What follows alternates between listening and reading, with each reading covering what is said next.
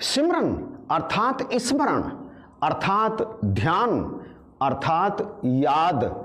सिमरन ज़रूरी क्यों है? सिमरन को भक्ति का आधार, अर्थात नींव क्यों कहा गया है? आज के वीडियो में हम इसी पर बात करेंगे। YouTube चैनल यही है सच में। आप सुन रहे हैं नरेश को।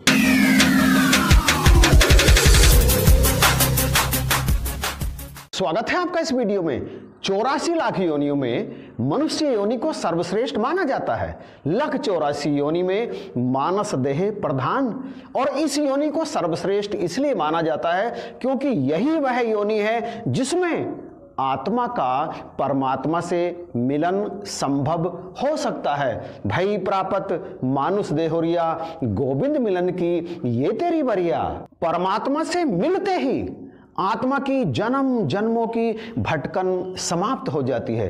परंतु याद रहे, अभी भी, अर्थात परमात्मा से मिलने के उपरांत भी, उस क्षण भी वह शरीर के बंधन में तो है और शरीर को, इस शरीर को चारों तरफ़ से माया में संसार ने घेर रखा है। माया जो भटकाती है, कबीर साहब कहते हैं, माया महाठगनी हम जानी, माया हमेशा ही।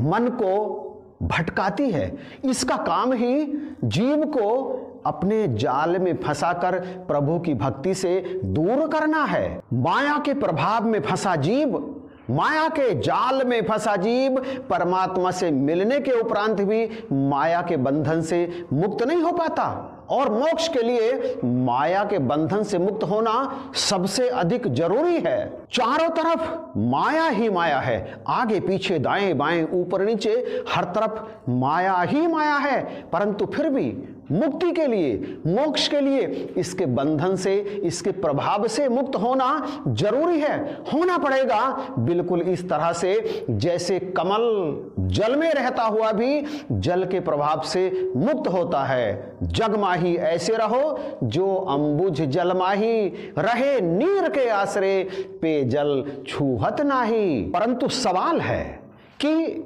यह होगा कैसे?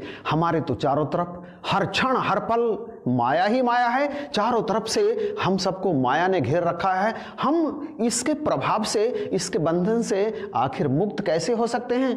कहा तो है कमल की तरह से। और इसे मुक्त करने की औषधि है, इस रोग को मिटाने की औषधि है सिमरन। सिमरन मुक्त करेगा हमें माया के प्रभाव से। सिमरन से आत्मा को बल मिलता है। सिमरन से आत्मा की वास्तविक शक्ति जागृत होती है। सिमरन से आत्मा की निकटता परमात्मा से बढ़ती है।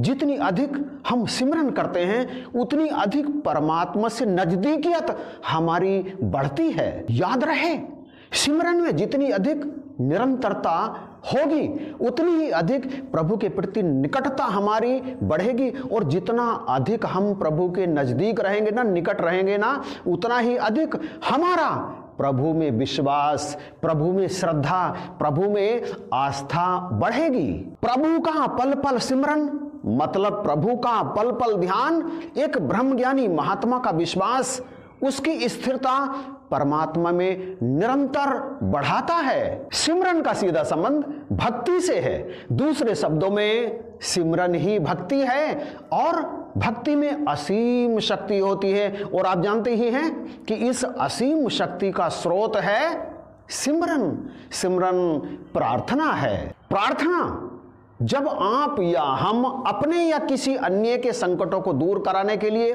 दुखों को दूर कराने के लिए, बिगड़े कामों को बनाने के लिए प्रभु से प्रार्थना करते हैं तो वो प्रार्थना वो प्रार्थना सिमरन ही तो है। और इस सिमरन की शक्ति का प्रभाव हमने और आपने एक बार नहीं, बार बार देखा है, अनेकों बार देखा है, और यही वो सिमरन है।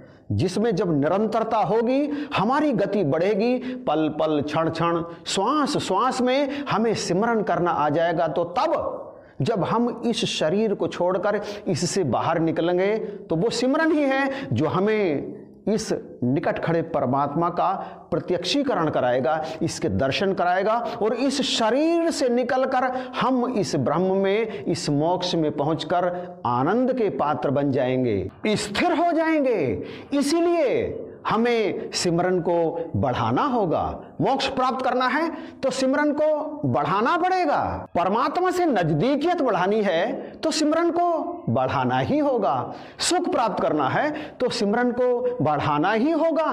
कष्टों से छुटकारा प्राप्त करना है तो सिमरन को बढ़ाना ही होगा। सफलता चाहिए, प्रेम चाहिए, घर परिवार में और खुद में शांति चाहिए तो सिमरन को बढ़ाना पड़ेगा। इसलिए बढ़ाओ, सिमरन को निरंतर बढ़ाने का अभ्यास करो और अंत में और जीते जी, दोनों समय।